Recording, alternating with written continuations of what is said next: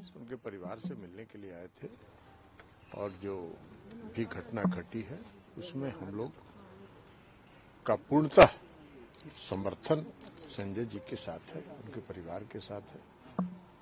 कल आपने एक कार्टून भी जारी किया था जिसमें आपने भाजपा को एक वॉशिंग मशीन दिखाया था। तो है ही इसमें इसमें नई बात क्या है? आपको दिख नहीं रहा है क्या? आप पूछ रहे हैं हमसे आपको दिख नहीं रहा है?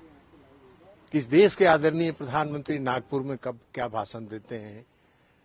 उसके बहत्तर घंटा के अंदर क्या करते हैं? उनके राज्यों में कर्नाटक में चुनाव हो रहा था, वहाँ गली गली में उन, कर्नाटक की सरकार के भ्रष्टाचार की चर्चा थी तो वो तो उनको दिखाई नहीं पड़ता। तो ये आपको भी नहीं दिखाई पड़ रहा है आपको तो दिखना चाहिए ये सब। आप तो चौथा स्तंभ है लोकतंत्र के।